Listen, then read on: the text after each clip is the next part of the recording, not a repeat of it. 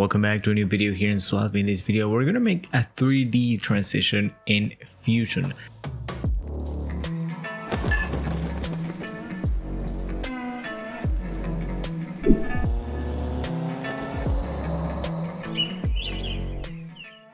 Now, we're gonna basically need three different things. We're gonna use stock clips in this case. This will be great if you already planned these beforehand and you maybe you filmed in a certain location and you have three different scenes of the sky and the places and you want to make a transition or you forgot to do them with your own camera when you were filming. So this is a good idea. Maybe you can try it out and see how it fits your project.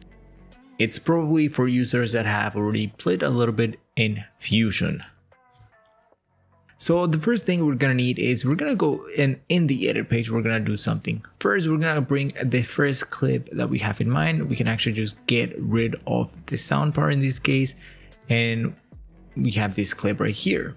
Then we're gonna bring our second clip, get rid of uh, the audio part again, because we don't need that. And we can position these maybe around, depending on how long you wanted to make it. There'll be one second mark, that could be fine. And we're gonna copy these and we're gonna go and actually grab that first frame and we're gonna press R and then we're gonna freeze these. Then we're gonna cut these and we're gonna bring this like that. And then we have this clip like these. If this clip from the bottom part is not long enough to fit the whole thing, what you can do is actually just do the same thing and copy that last part and then you will just freeze the last frame. After we have these, we can actually create the fusion clip by going right click and then new fusion clip. After that, we can rename these 3D tutorial. It's really up to you.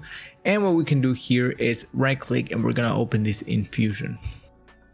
Since when we are in Fusion, we're gonna go and select this merge node and we're gonna create a background. We're gonna press Ctrl T so that this background is actually our base. And then we're gonna say erase that one. Here you can actually rename these scene 1 or clip 1, whatever you want, just to keep things organized. Here what we're to do is we're to add an image plane here, and we're to add another one to this one, and we're to connect both of these with a merge node. Then we're to add a render, and we're to connect that to our merger. Now everything looks a little bit too small, but we're to fix that in one second. We're to select the merger, and we're to add a camera. We can press 2 here on the merger so we can see everything. And right now, both of the clips are overlapped, so they're gonna be... And right now, both of the clips are overlapping, so that something weird is gonna happen. We don't want that. What we're gonna do is we're gonna go to the second scene in the image plane, we're gonna go to transform, and we're gonna press 1 on the X value. That's gonna make them be side by side, and now we can go and check our render by pressing 1 here, or in this one, and we're not seeing anything because our camera is right on top of our clip. We're gonna go to the transform in the camera and we're gonna bring these back a little bit. Right until the point where it covers the whole clip. The next thing that we're gonna do is we're gonna add the sky that we have in mind. For that, we're gonna add here the, the sky that I brought from a stock website and I try to find a sky image or video that fit similarly to both colors. Sky we can rename that. As you can see here in this 3d section you'll see the sky here is a little bit too blue and then here is a little bit brighter. So we're gonna animate that also in a little bit when we have the camera movement already happening. And i will show you that in a little bit okay after that we're gonna add an image plane to our sky and we're gonna connect these to their merger now it's gonna be overlapping again but we're gonna go to the transform and in this case we're gonna press this 0.5 for the x value we're gonna go to scale and we're gonna make these bigger. You can make it three times bigger or maybe two. It really depends. If you make it two, it will fit well enough. And if you go a little bit above, then you will have a little bit of an extra margin in case there's some extra movement that you want to do. Okay, now we're gonna bring these a little bit higher and we're gonna add a bender. This bender, what's gonna do is we're gonna bend our sky so it's a little bit curved so it's not too flat and we can move the camera around a little bit more. With the y-axis like that, we're just going to increase the amount and then we're going to go to our image plane and we can rotate these a little bit on the X value and then we can maybe bring these a little bit closer to our other screens right here. It's really all about tweaking in this case, so you'll have to play around with that a little bit. Okay, now we wanna go to the sky and we're gonna press Control and Spacebar and we're gonna add a color corrector. What we're gonna do with these is we're gonna try to match these with this light blue that we have here. In that case, if we move these a little bit closer to the light blue, that affects it a little bit, but I think we need to desaturate these a little bit and basically adjust a few of the values here until it gets closer to that color that we have here. And it doesn't have to be perfect because we're going to be using the motion blur which is going to cover those details because otherwise you will be spending a ton of time trying to match these exactly how it is but if you want to spend more time then you can do that too.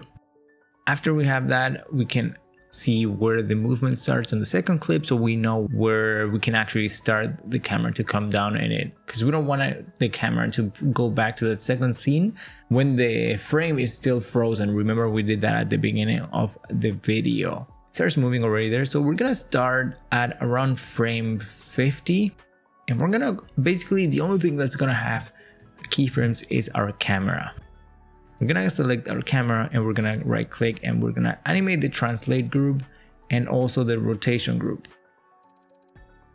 Now, one thing that I like to do also is that we're gonna bring these here and we're gonna make another keyframe for this Z or Z value because I want these to be already sort of like zooming in into the people a little bit already. So just a little bit like that and then after that we're gonna bring the first movement. Now before we do anything what i like to do is we're gonna go to the ending point already. So depending on how many frames you want this transition to have in this case we can probably work with 36 frames.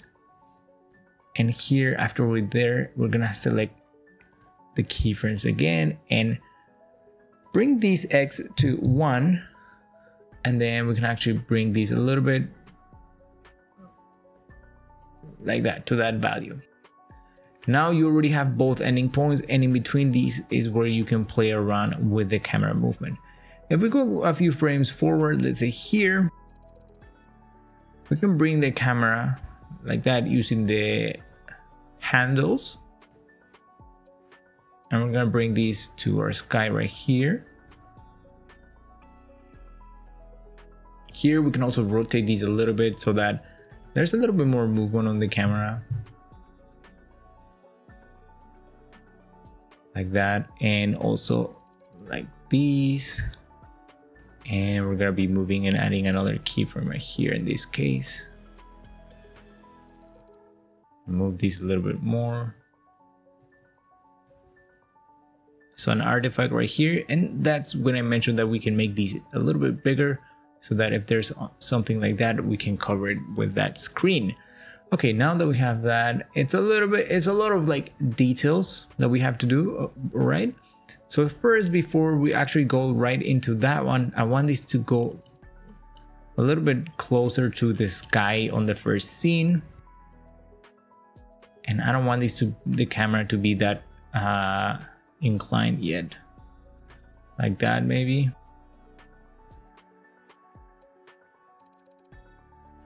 Bring these like that.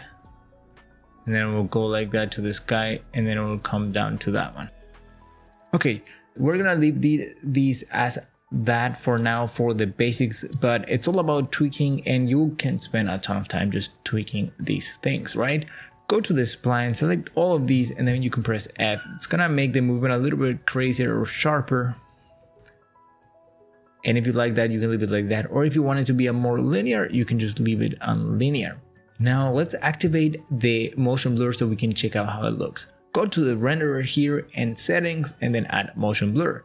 Now this does take a bunch of RAM and GPU probably if you're using the studio version. I'm working on the free version right here so that everybody that doesn't have the studio version can actually just try this effect too. Just make sure that you're working with enough RAM or go to the playback and then set the resolution to half resolution so that you can actually work and the whole thing doesn't crash. Okay, let's preview this. it's a little bit sharp, right? And that's because this actual path is pretty sharp. We're gonna fix that in one second. Now, one thing here that I noticed is these skies not the same color. And I mentioned earlier that we're gonna use the color corrector and that we were gonna add a few keyframes to it. And that's when we're gonna do it. So right here, before the camera starts going down, we're gonna create a few keyframes here for the elements that we have adjusted. You can do it with everything if you adjust everything. We're gonna go to the point where we can see the sky like that covering half the screen. And then we're gonna adjust these so that they both are close and match with each other. They don't have to match perfectly, but as long as you're able to sort of like cover that sharp that sharp edge that we have there, then that should be enough. I think that's good enough. We can actually bring these a little bit closer to the yellow side here. Maybe that can actually make it match better. That looks a little bit better, right? Yeah, I think that looks better too. Okay, we can go to this spline these. I'm gonna press F2. And then after we have that, we can check this out. Yep, I like that. As you can see here, the camera goes straight to that ending point. I want to go a few frames forward and make this camera to and to come down a little bit closer to the screen so that then we have sort of like a zoom out a little bit of a zoom of a movement like that since it's a little bit too fast what we can do here is go to the camera here in the spline tool and we're gonna select these points and we're gonna and then we're gonna drag these to the side a little bit so that there's a few more keyframes in between like that. So there's a little bit more of like a smooth movement. Okay after you are happy with that basic movement one last thing that we can do is we're gonna actually select this path right here. And we can select these make sure that all of it all of the points are red and yellow. We're gonna right click and then where it says 3d offset path we're gonna go to smooth and then we can smooth x y and z. That's gonna make the whole path have a little bit more of a curved shape and that's gonna make the movement a little bit smoother in terms of that that quick impact. There he goes.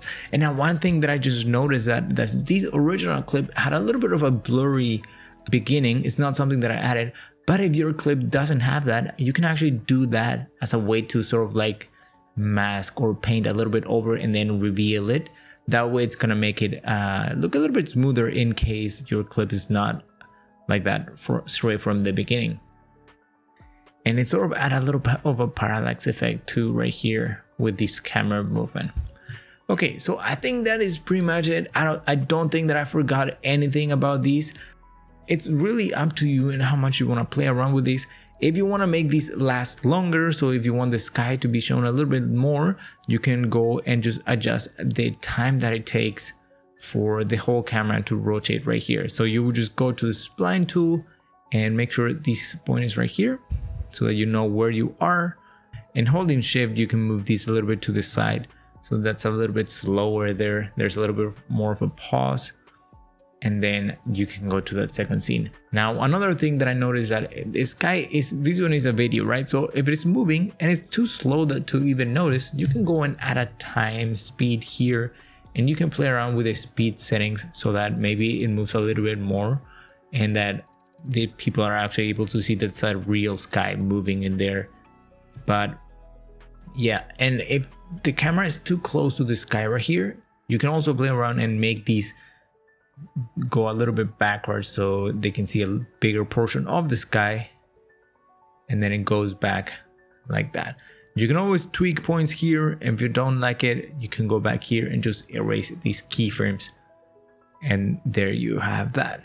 Now that is it for this video. I am not sure if I can actually save these and share with you as a project file because it sort of like really depends on the footage that you have. I might be able to and then you can just replace these actual screens with your footage. But yeah, let me know if you will be interested in me sharing these and I'll see if there's a way so that you can use these and play around with it. Because otherwise you will just have to build these from scratch.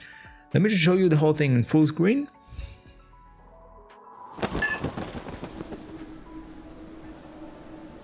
So that is pretty much how you would do these. If you want to add more clips you just all it's all about just print and repeat that same process with more clips like you have seen in the intro of this video.